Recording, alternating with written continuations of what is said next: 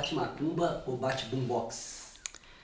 Bate boombox. Acho que vai de bate macumba, bate boombox. Que eu acho que o Batuque Freak tem a ver mais com, com a palavra boombox, mas também lembra macumba, por causa das batidas e tal. Eu acho que vai os dois. É macumba saindo do boombox. Tem muita influência da música africana, baiana, nordestina, porque é uma coisa que é o Brasil. Acho que não, não tem como falar, ver uma música brasileira sem ter o batuque. Por isso que o nome é Batuque Freak, é um nome que foi escolhido pelo produtor do disco, Nave. Freak é uma coisa insana, né? Freak é louco. Eu gosto de brincar que ele é o batuque e eu sou o freak. e ficou assim. Carol com K rima com quê?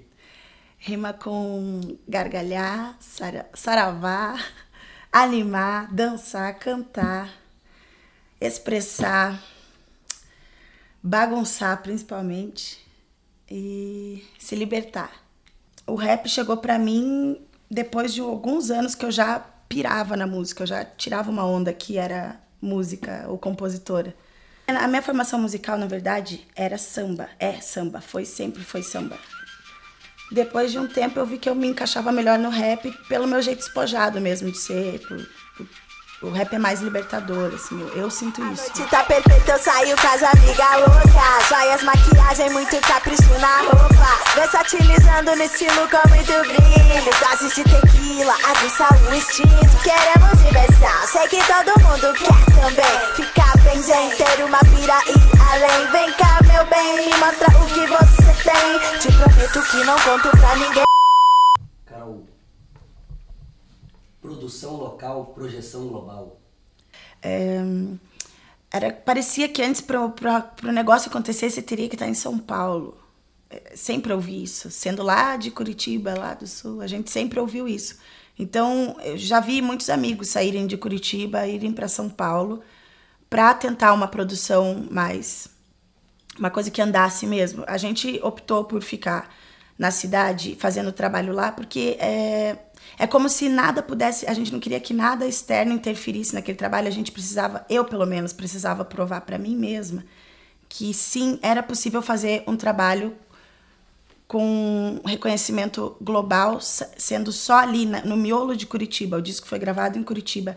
E eu vi que isso é possível, ainda mais com a internet hoje em dia, né?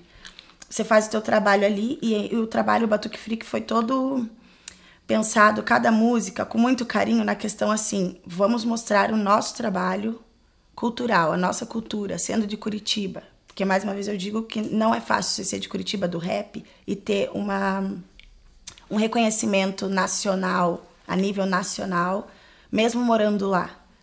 Então, é, a gente já fez esse trabalho imaginando, é, talvez desejando que tivesse um reconhecimento global, uma coisa mais uma coisa maior.